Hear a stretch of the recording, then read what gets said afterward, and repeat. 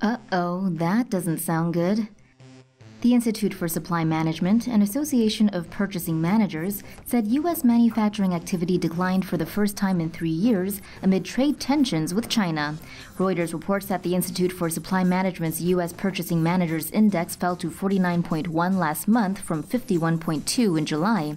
Figures below 50 indicate that the manufacturing sector is contracting. The reports come amid last week's reports that U.S. consumer spending increased in July.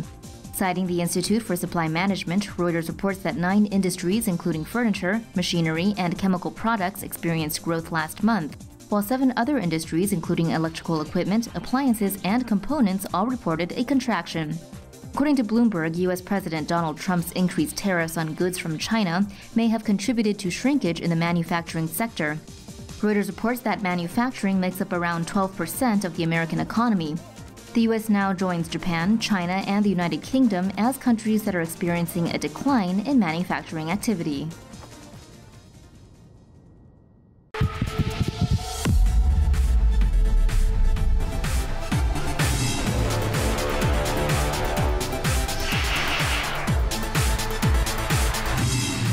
you